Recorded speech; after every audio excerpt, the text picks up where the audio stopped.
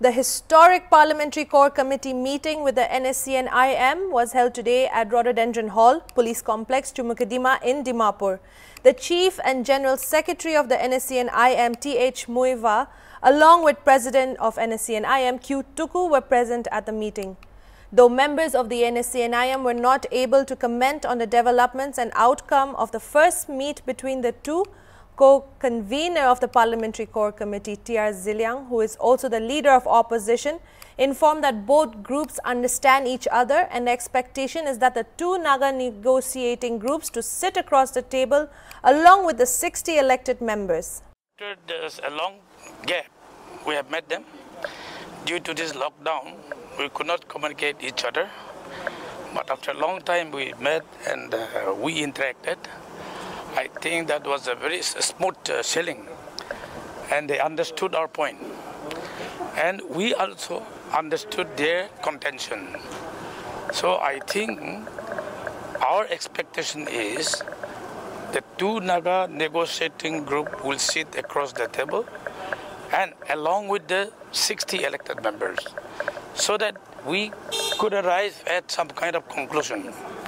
And then uh, we have requested them to resume the talk with government of India and we will also pursue on behalf of them as a facilitator so that we can arrive at the common ground and uh, the Naga negotiating group will approach government of India with uh, with a common approach.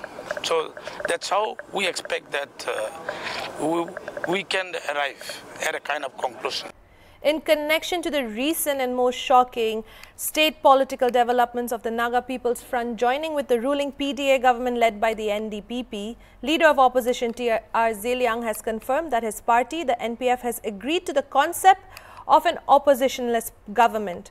While the core committee was formed under the banner of one solution, one agreement in regard to the Naga peace talks, Zeliang also made known that the concept of one government is mainly for the Naga political issue as well. Further, an MLA of the NPF has revealed that seven NPF legislators did not attend the meet, deciding for an oppositionless party and the reason for their absence was only best known to them. Solution, one agreement and then now one government. Uh, is that related to the peace talks about joining the PDA alliance? Yes, very much. We have agreed to the concept of this opposition-less government because of this uh, Naga political issue. When we have opposition and ruling, we we come together in the assembly, but we have differences outside the house. So if we are together in the government, we are not for any kind of post, mm -hmm. but if we are together, like framework agreement mm -hmm. was signed.